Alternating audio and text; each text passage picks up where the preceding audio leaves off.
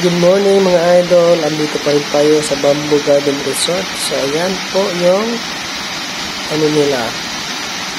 Parang falls mga idol ah. Ayan. Man-made falls. Ito yung cold spring. Sobrang lamig dyan mga idol. Napakalamig. Ang linis. Pili kang uminom dyan mga idol. Pero wag kang uminom idol ah. Galing kasi yan sa bukid mga idol. So, napakalinis, napakalamig. So, punta na kayo dito sa Bamboo Garden Resort. Nakitid po sa New Bataan, Davao de Oro, Mindanao, Philippines. So, ayan. Ano po, tingnan mo yung tubig mga idol. ah. Napakalamig. Ang lamig-lamig. Ayan po guys, thank you so much for watching guys. Don't skip ads mga idol. See you in my next video. Don't forget to follow, like, and share. Salamat. I love you all. Bye-bye mga idol. See you in my next video. Babush!